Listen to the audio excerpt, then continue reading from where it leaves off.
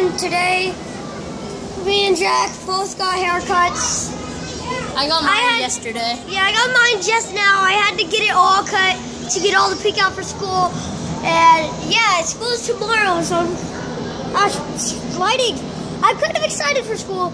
Uh, I, I look bald. To be honest, I look like One Punch Man my shadows. And got Jack, both of us. hi. He's doing his video too. You see? Haha. Oh, yeah. Well, Let's go downstairs. come on. Go. Hey guys, remember what? Remember the video? Uh, my last video. The what's it called? Uh, Idea Men. These are people. These are the people from the Idea Men. They helped me out a lot. This is Chris. I'm acting like- also no, Cameron, also Cameron. oh, I'm Cameron. like Mega Man right was- Yeah, he's acting like Mega Man, and he was also in my. Uh, he needs some milk compilations, and this is Chris. Hey, I made a bow. Yeah, it's And pretty cool actually.